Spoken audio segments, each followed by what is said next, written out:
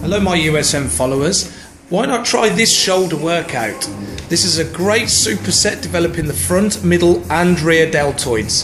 Start off with a lateral raise, keeping the elbows high and under control. Perform seven repetitions. Then we move into the forward raise again, keeping it nice and slow and under control.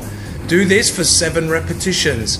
We then tilt the body forwards, keeping the back nice and straight, going into a rear deltoid raise. Again, we perform this for seven repetitions. Giving a total of 21 repetitions per set, we perform three sets of these. At USN UK, hashtag challenge yourself in the new year.